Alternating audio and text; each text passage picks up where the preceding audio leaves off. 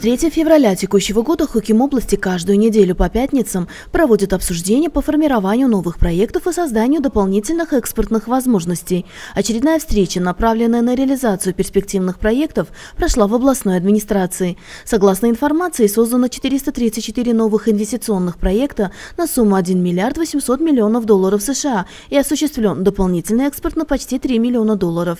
Однако ответственные за реализацию проектов еще полностью не вникли в этот вопрос – и не делают для себя правильных выводов, сказал глава областной администрации.